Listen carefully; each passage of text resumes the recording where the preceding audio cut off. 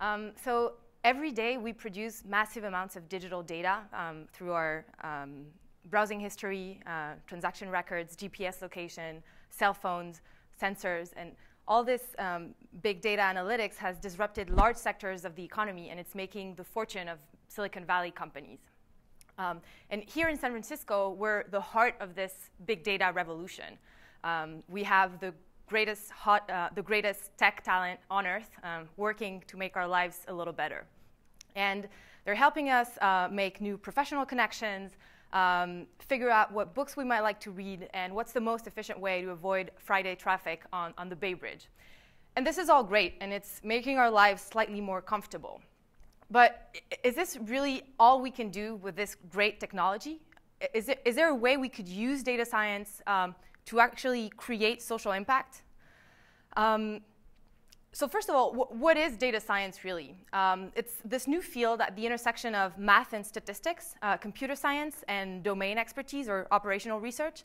And it, it, it's really about three things. Um, knowing how to ask the right questions to the data, to these new amounts and types of data we're generating, uh, using statistical methods to answer those questions, and then software engineering to implement a solution and build data products that um, are actually going to be usable by others. Um, so in the private sector, businesses have invested millions of dollars in these techniques to figure out, to, to know their customers better and predict their tastes and, and preferences and, and design solutions that match those needs. Um, and the question is really, could we use these same techniques, but instead of predicting our likelihood to buy stuff, could we use them to um, identify people who might have a high risk of health complication? you know, could we use the algorithms that Uber has, but to optimize ambulance dispatching and reduce wait time?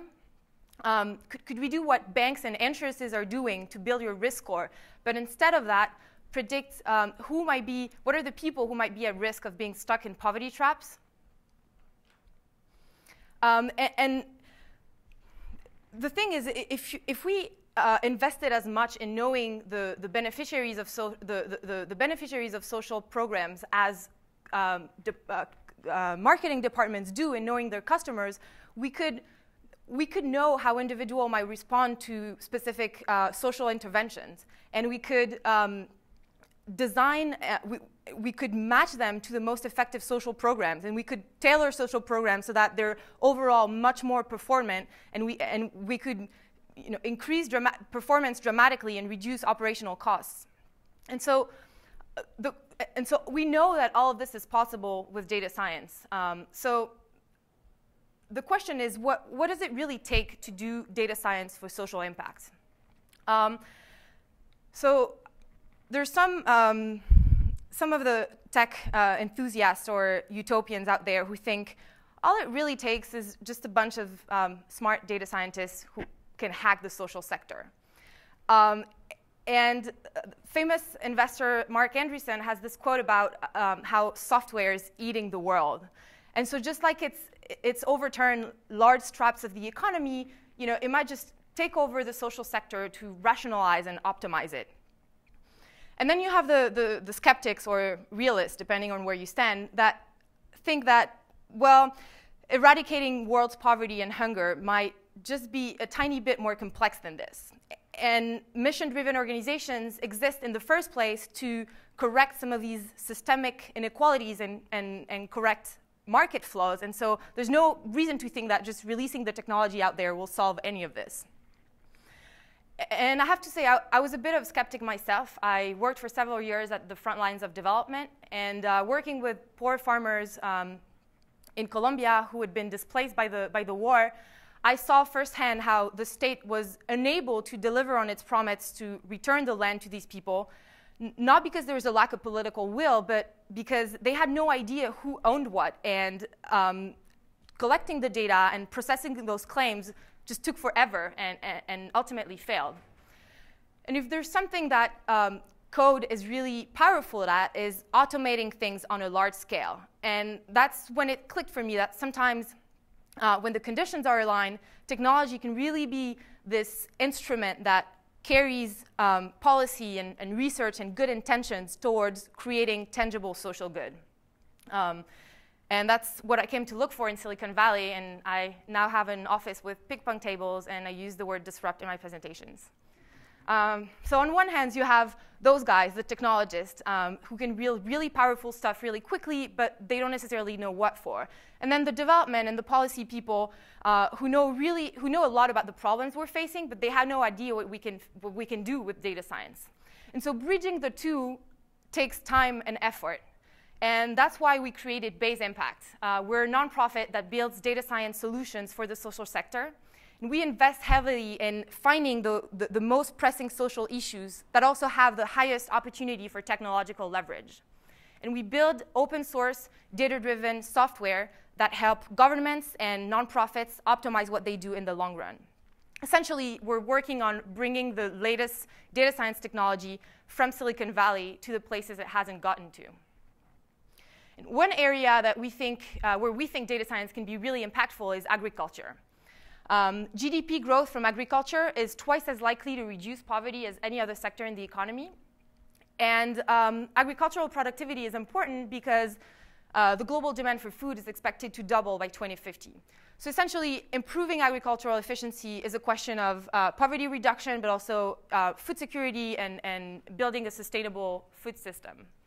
Uh, so this is uh, Don Andres. Uh, he's a rice grower from the Tolima region in Colombia. And um, over the past few years, uh, his average crop yield has declined from um, six tons per hectare to five tons per hectare due to high climate variability. And agronomic processes are really complex. Um, crop development is influenced by countless interrelated variables, and increasing climate variability is just making this even more complicated. And so for Don Andres to adapt to these conditions sometimes feel like a bit of a, a stab in the dark. But imagine if we could use um, machine learning techniques that um, identify patterns in the data and learn from historical cases to help Andres know what are the optimal steps that he could take to optimize his, his crop cycle. What if he could know um, what's, the, what's the seed variety most suitable for his field? And what's the planting date with the highest expected return this season? Or what if he could know um, how to stop or how to prevent the, the spread of a disease before it even reaches his field? All of this we can do with data science, and that's, that's why we're building a, a decision support tool um, that collects data in real time and uses predictive analytics on soil data and climate data and, and, and harvest data um, to give Andres and smallholder farmers personalized recommendations on how they can optimize the, the entire agricultural cycle. And it looks something like this. Um,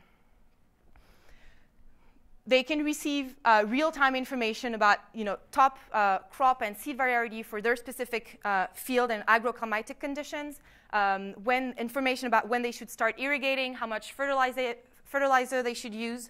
Um, and uh, the uh, pilot tests that we're running in Colombia show that we can get up to a 20% increase in productivity. So of course, all the, all the big corporations like Monsanto and John Deere uh, are racing into this analytics business. And um, they have huge conflicts of interest. I mean, they're, they're, the same companies selling the seeds and the equipment. Uh, and farmers are concerned about the fact that having so much data might enable them to tweak the market in a particular way. So that's why we're, we're building an independent platform um, accessible and affordable to smallholder farmers in the developing world.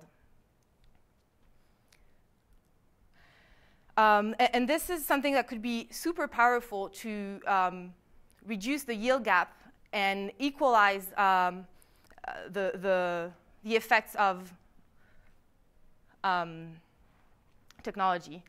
So there's a few, there's a few, there's a few uh, aspects why I think this could be really powerful.